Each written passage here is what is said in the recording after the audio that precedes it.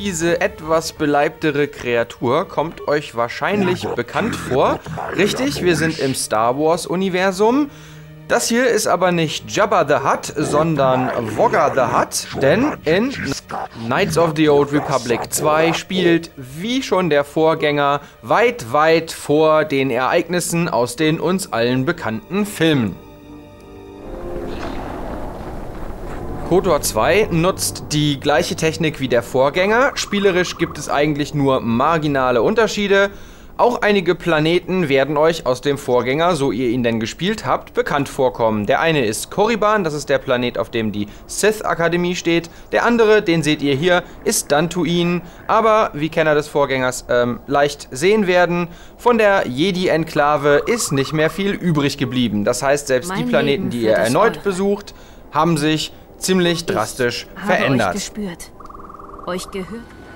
Aber es ist natürlich längst nicht alles recycelt. Ihr besucht auch eine Menge neuer Orte. Hier befinden wir uns zum Beispiel auf einem Mond um den Planeten Onderon herum. Da seht ihr auch gleich einige der wenigen grafischen Neuerungen. Einige nette Wettereffekte wurden hinzugefügt. Ihr solltet euch sowieso nicht so viel Sorgen ums Recycling machen. Das Spiel ist nämlich insgesamt deutlich umfangreicher als der erste Teil. Das heißt, wenn man die Planeten, die so ein bisschen recycelt sind, abzieht, und auf denen passiert ja immerhin was Neues, ähm, bleibt immer noch die gleiche Netto-Spielzeit wie im ersten Teil mit komplett neuen Örtlichkeiten. Kurz ein paar Worte zum Kampfsystem. Wie im Vorgänger laufen die Kämpfe prinzipiell in Echtzeit ab, lassen sich aber jederzeit auf Knopfdruck unterbrechen, damit ihr euren Gruppenmitgliedern neue Befehle geben könnt. Ähm, unten links die Kommandoleiste ist ein bisschen breiter geworden. Es gibt Felder für eure Angriffe, für Granaten, für offensive Jedi-Kräfte, defensive Jedi-Kräfte, für die Gegenstände, die ihr einsetzen könnt. Und ganz neu ein Feld für die sogenannten Lichtschwertformen oder spezielle Machtstile. Das ist zum Beispiel diese lila Kugel da. Das sind Sonderfähigkeiten, die ihr im Laufe des Spiels dazu lernt und die euch im Kampf helfen. Dazu erkläre ich euch ein bisschen mehr im Test im Heft. Grundsätzlich kann ich Kennern des Vorgängers nur sagen, euch wird das ganze Spiel etwas leicht vorkommen. Die Kämpfe sind alle relativ leicht zu bewältigen. Neulinge werden allerdings wieder eine Zeit brauchen, bis sie sich da reingefuchst haben. Kampftipps findet ihr übrigens im Tippsteil im Heft.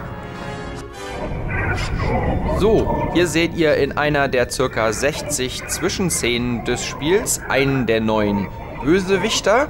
Der gute Mensch hier heißt Darth Nihilus. Zu viel zur Story will ich aber gar nicht sagen, daher lieber noch ein paar Worte zur deutschen Version. Alles ist synchronisiert, was ja prinzipiell erstmal löblich ist. Die Sprecher sind allerdings, sagen wir mal, miserabel bis okay. Die Übersetzung geht in Ordnung, auch wenn es ziemlich viele Tippfehler gibt und einige Begriffe und Gegenstandsnamen vergessen wurden. Für diejenigen unter euch, die am Überlegen sind, ob sie sich die deutsche Fassung zulegen oder vielleicht doch die englische aus dem europäischen Umland besorgen sollen, habe ich ganz zum Schluss unseres Berichtes einfach mal beispielsweise zwei Figuren genommen und zeige euch jeweils eine kurze Szene aus dem englischen Original und eine aus der deutschen Übersetzung, sodass ihr selber entscheiden könnt, ob sich der Import lohnt. Es gehört wie ein Geräusch ganz leise noch zu hören. Und als ich es hörte, konnte ich es nicht ignorieren. Felt you, heard you through the Force. It was like a sound at the edge of hearing. And when I heard it, I found I could not ignore it. Ich gebe zu, dass das auch mir verborgen ist. Aber die Bindung ist stark und wurzelt tief. Mir scheint, dass in Zeiten der Anspannung und der Schmerzen, wenn wir unvorbereitet sind, der Schmerz von einem auf den anderen übergeht. I confess its nature eludes me as well, but the bond is strong and its roots run deep. It seems that at times of stress and pain, if they catch us unawares, then the pain is transmitted between us.